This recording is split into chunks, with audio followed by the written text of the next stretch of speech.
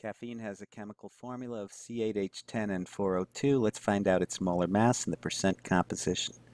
We add up the average atomic masses, so 8 times 12, 10 times 1, 14 times 4, and 16 times 2, with some precision gives us a molar mass of 194.19 grams per mole, well under the 500 grams per mole limit theorized Lipinski to be available in a oral form, meaning that won't be digested when it gets through your liver.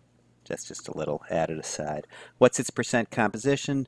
Well, most of it's going to be carbon since 96 of the 194.9 grams came from carbon. That should give you an idea how to do it we get about 50% carbon, 5% hydrogen, 29% nitrogen, and the rest, or 16 plus percent, is oxygen.